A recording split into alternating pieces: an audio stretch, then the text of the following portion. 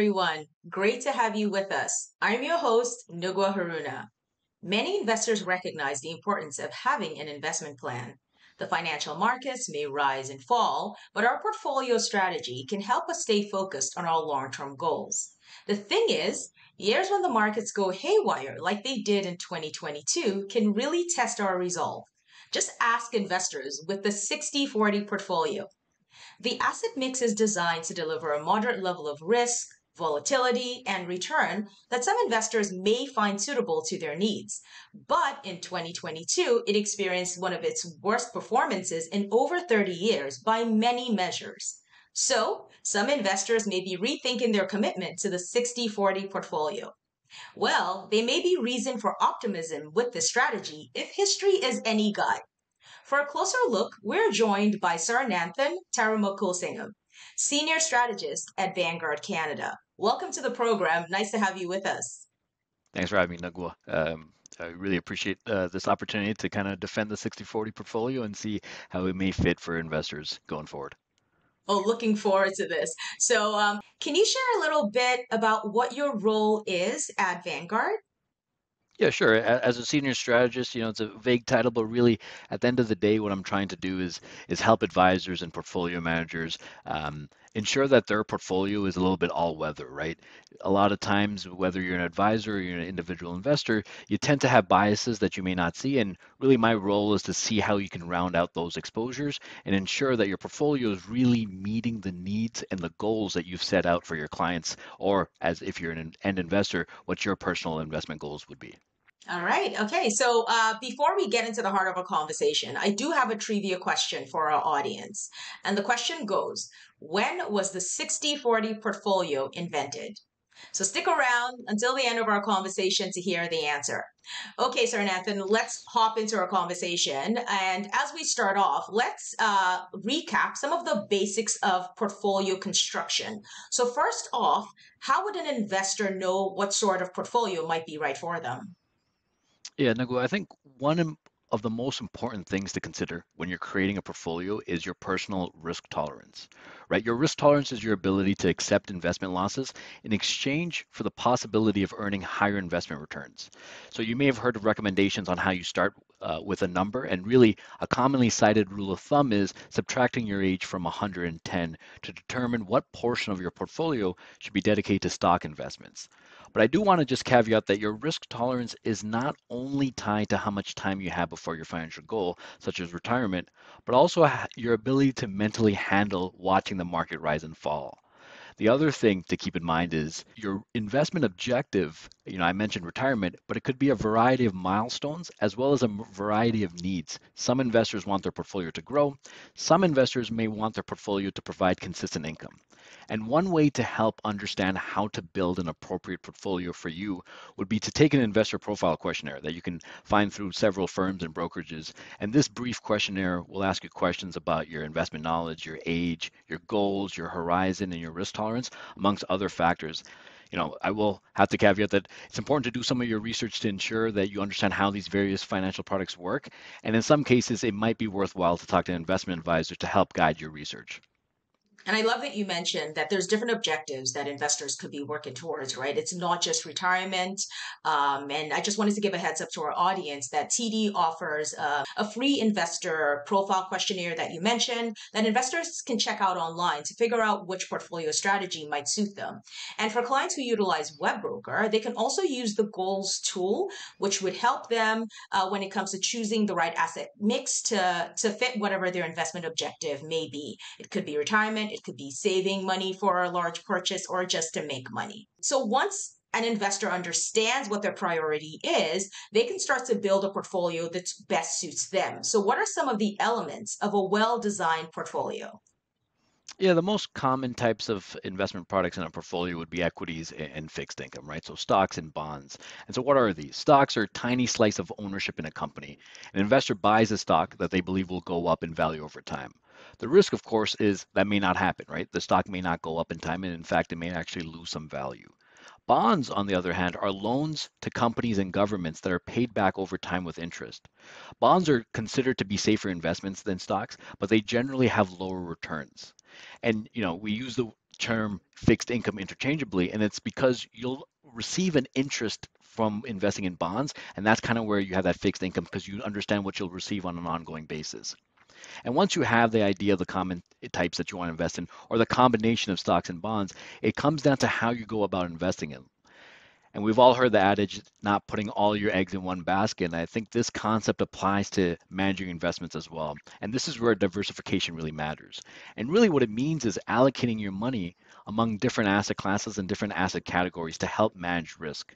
Diversification in itself doesn't guarantee any investment risk or eliminate the risk of loss, but it really helps mitigate company specific risks that you might have if you were to invest in just one name. All right. So, um, so what do investors need to keep in mind when considering their portfolio strategy?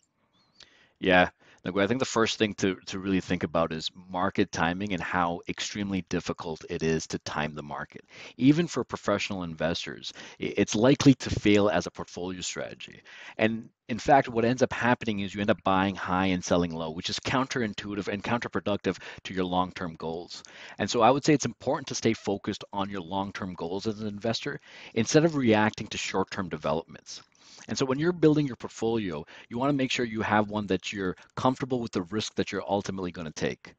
Because it's important to remember that the markets can be volatile.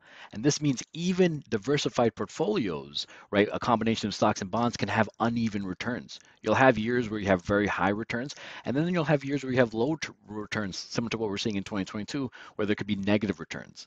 And I think successful investing over a longer term really demands perspective and long-term discipline, right? Stretches like the beginning of 2022 and some bear markets that have lasted much longer really test an investor's patience.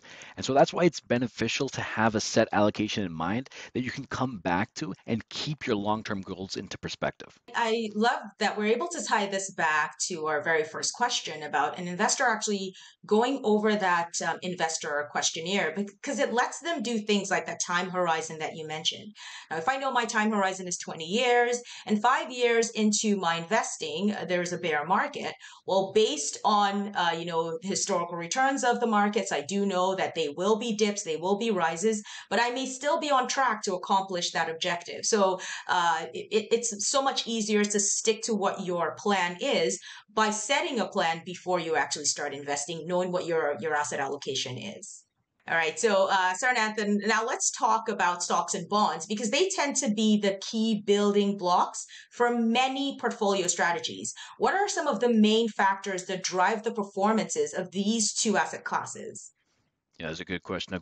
There's a lot here, so I'll try to keep this as uh, brief as possible. And, and, let's start with fixed income, right? And so fixed income securities are driven by a few factors. The first one is around interest rate changes. So as interest rates rise, the price of bonds generally fall because now investors can buy bonds at a higher interest rate. So the existing bonds have less value to them overall. And the reverse is true as well, right? When interest rates come down, existing bonds are a little bit more um, higher in terms of their value. The other thing I'll kind of highlight there is bonds with longer maturity are subject to greater price movement upon interest rate changes. The other uh, factor that might affect fixed income securities is really around credit and default risk. Because remember, bonds are just a loan. So there's a risk that the issuer will go out of business and unable to pay the interest rate and the principals that they um, had taken out on the loan from you, right? So that's one thing to consider. And really, issuers of high yield bonds will have more credit risk. They're more likely to default. And so generally, you'll see high yield bonds pay a little bit higher interest to compensate for that risk that investors will have. And finally, it's around liquidity risk. Sometimes investors need to exit a bond position and you might have a limited secondary market to sell that bond to. Now, on the stock side of things, stock prices are really determined in the marketplace where seller supply meets buyer demand. And the return of equities is driven by a lot of fundamental factors. So when you buy a stock, like we mentioned, you're purchasing a proportional share of the entire future stream of earnings. So this is sometimes expressed in things like price to earnings or price to sales. So that's really the fundamental factors that drive stock prices. And I tell you, things would be very easy if fundamental factors were the only things that uh, drive stock prices, but there's also technicals, right? We're seeing this this year with inflation. There's also just the competition of any stock, the economic circumstances, there's news and corporate developments. And another big factor that drives stocks is investor sentiment, right? Sometimes investors get a little bit, um, they get more risk averse than they initially anticipated they would be. And so you'll see some selling that happens there. And historically, stocks and bonds have tended to be negatively correlated. And so when one goes up, the other one comes down, and vice versa. All right. So when we talk about a negative correlation between stocks and bonds, what exactly do we mean when we say that? Yeah, so when we're saying negatively correlated or positively correlated, we're just saying the direction they move together, right? So if something is negatively correlated to something else, one will go up while the other one will come down generally speaking, and the magnitude of that is the, the extreme of that negative correlation. Whereas if something's positively correlated, you know, if stocks go up, bonds will also go up. And so it's really, you know, when we're talking about diversification and how we want to make sure that our portfolio is well balanced, we would want stocks to go up while bonds coming down and vice versa, because otherwise there's no point of having some allocation to stocks and some allocations to bonds if they both move in the same direction.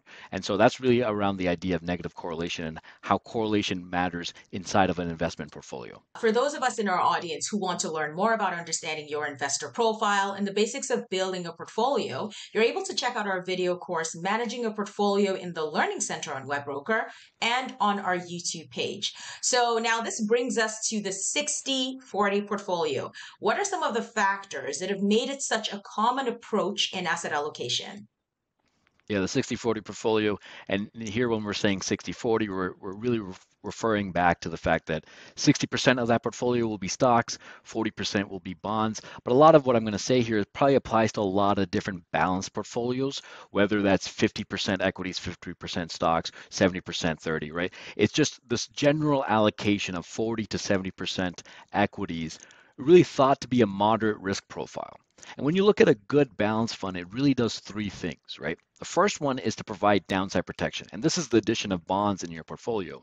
And when you do that, you won't see the 40 and 50% drops that you'll see tied to just the equity markets. So that's a, a very important cornerstone of a balanced fund. The second thing it allows you to participate in market upswings. So your allocation to equities will really help get you closer to your investment goals by getting returns through your equities, as well as the income that you get on the fixed income side. And finally, I think a good balanced portfolio allows you to stay invested in the market. And again, 2022 is one of those situations where it really tests your patience, but going to cash may not help you in your long run, especially when you have an investment goal that might be a couple of years out. As an investor, why has it been popular? Well, it helps you automate your investments. It removes the need to tinker with your portfolio. It frees up time and really the mental burden of managing your portfolio on an ongoing basis. And it gets you to have a strategic allocation that's right. And at Vanguard, we've done quite a bit of studies, and I know other asset managers and financial institutions have done similar studies to show the impact of asset allocation on portfolio performance. And we've seen, regardless of the market that you do the study, whether it's here in Canada, whether it's the US, Australia, or UK, 80 to 90% of return variation is explained by your strategic allocation. So getting a right balance fund is the first step to getting you to your investment goals overall. You know, why has it been very popular?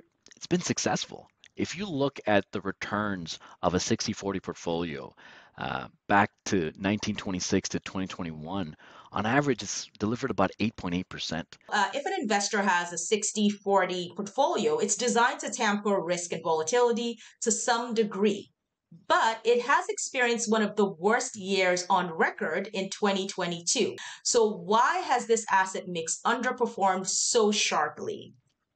Yeah, Nico, that is the the million dollar question, right? It's it's one that we, we tend to have with our advisors. And, and and typically, right, you'll see that negative correlation between stocks and bonds. So we talked about this. When stocks go up bonds go down and vice versa and that's usually how that relationship works. But we've really been caught in the perfect storm of negative market drivers which have pushed both stocks and bonds down simultaneously.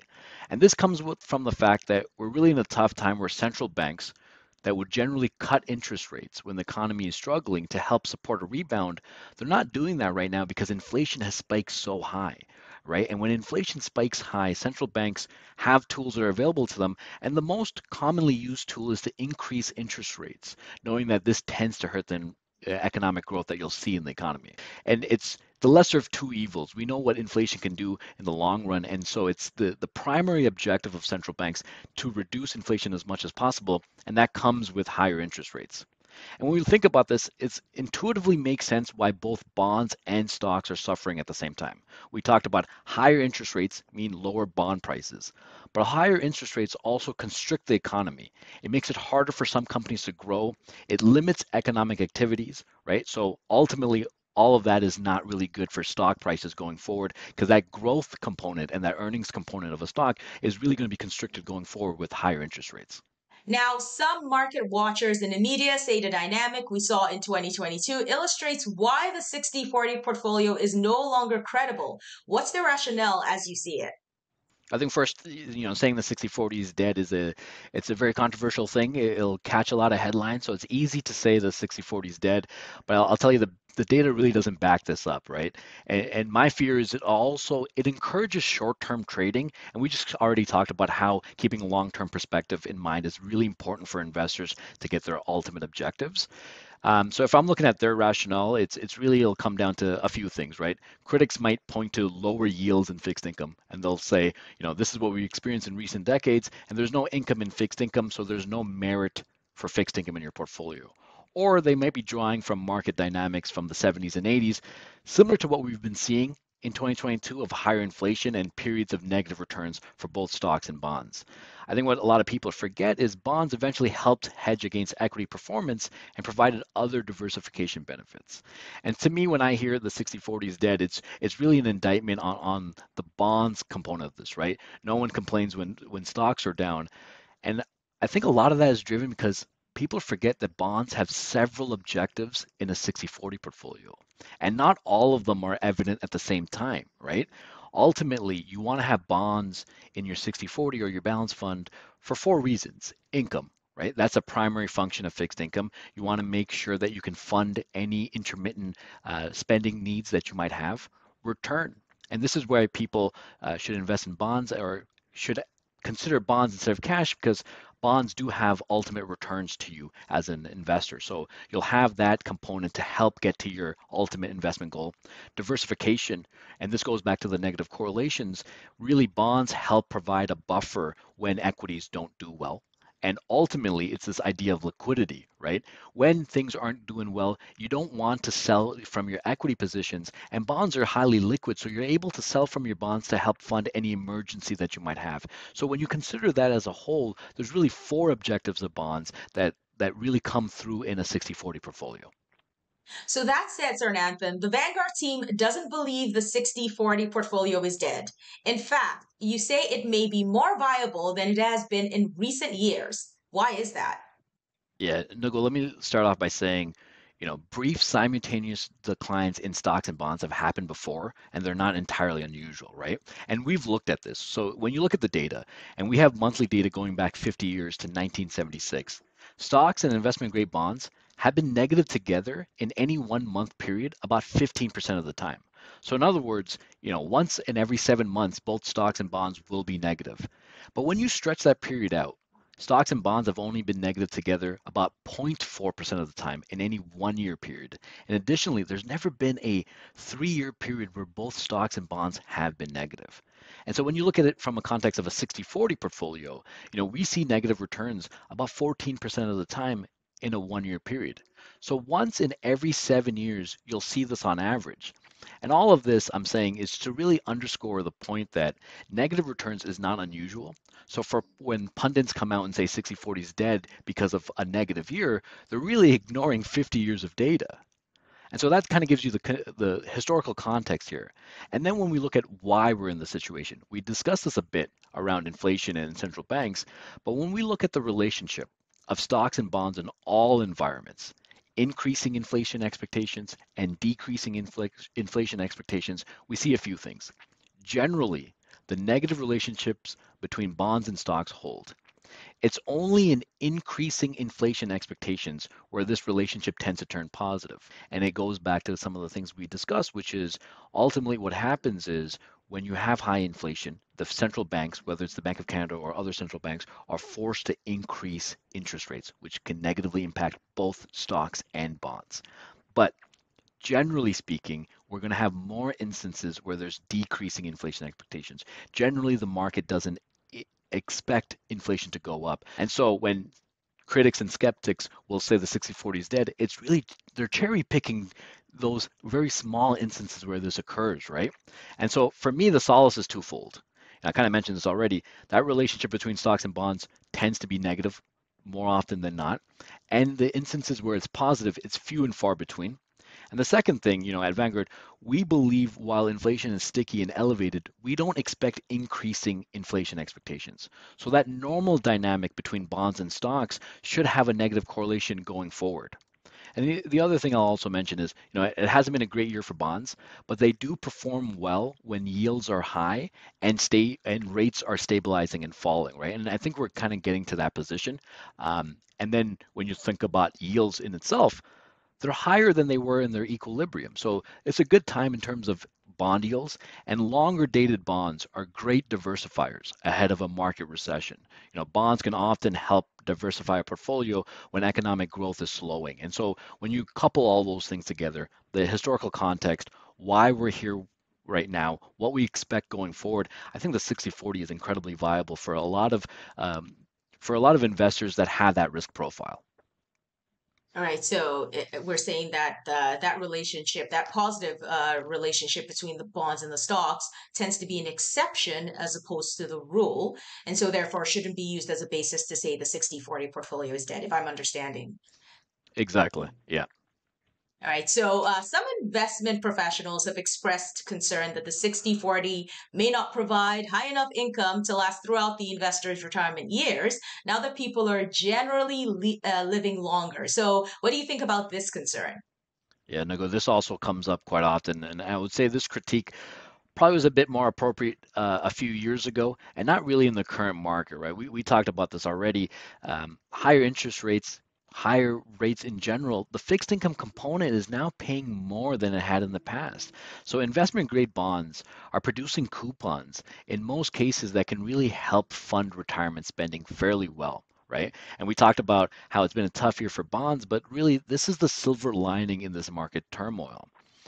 A lot of portfolios shifted towards more aggressive assets to get that yield, but that's not really warranted anymore because of where yields are within fixed income and bond investing. And so you have to consider your place in your investing journey, your investor profile, and your goals. But if you're rearing, nearing retirement, de-risking may be more prudent for reaching those high yields now that fixed income is paying what you want them to pay for retirement spending. And then, you know, anecdotally, I can tell you at Vanguard, our target date funds shift their equity portion to 30% in many cases in their retirement years, right? So based off our research, it's it's really what seems to be appropriate, and it will come with the caveat that it depends on your lifestyle and spending expectations. But this idea that fixed income is not going to pay you enough because you're living longer is less valid now that you have those interest rates that will really help pay the coupon that you need to sustain your your living environment, right? Some investors might look to so called alternative investments, such as private equity funds, commodities, or real estate, to help boost the returns of a 60 40 portfolio. What might they want to consider before making any investment decisions? Yeah, the first thing I would say is eh, it's important to understand your investor profile and not take any action that puts you outside of your risk tolerance, right? And the reason why I say this is because alternatives is such a broad category, and every sub asset class can behave quite differently. So it's important to do extensive research first. But if we're talking about alternatives that can help provide negative correlation to stocks and bonds, you know, you could consider alternatives like private equity or real estate. They may help increase returns. But one thing I want to call out is, you know, when it comes to negative correlation, just remember it's not just when your asset class is negatively correlated, but does it justify a position in your portfolio through positive real returns? An example that I often use is the US dollar is uncorrelated to stocks, but should I hold 20% US dollars, that might not help me get to my investment goal. I'll take it one step further sugarcane prices are uncorrelated to equities. And you know, I'm a big proponent of sugarcane juice, but that doesn't mean I'm going to have 20% of my portfolio in sugarcane because it's negatively correlated because there's no real positive real return that you'll get there. Now, for investors who are looking for alternatives to add income, you know, I, I would say you can potentially enhance total return by looking at higher dividend stocks or corporate debt. But what I would stress is we wouldn't want to replace your bond component with these alternatives. We think it's better to take away from your equity allocation rather than your bond allocation because you don't want to risk uh, skewing your profile of the risk tolerance that you're comfortable taking. And so for investors looking at alternatives, I would say consider not taking away from the stable aspect of your portfolio and maybe you want to remove some of your equity allocation to help fund alternatives overall. Now, strategies like the 60 40 portfolio often require some level of rebalancing as the performance of asset classes vary over time. So, I wanted to pause our conversation for a moment to show our viewers how they can use the asset allocation tool in WebBroker to keep tabs on it all. Investors who have specific asset class weightings they're looking to maintain in their portfolio may have to periodically review and rebalance their holdings. Alternatively, investors also have asset allocation investment funds available to them. And you're able to find these funds under Research. Under Investments, we'll click on ETFs. Once here, scroll down, focusing on the right side of the screen, and click on ETF category. Click on the drop down to view the different asset allocation ETFs.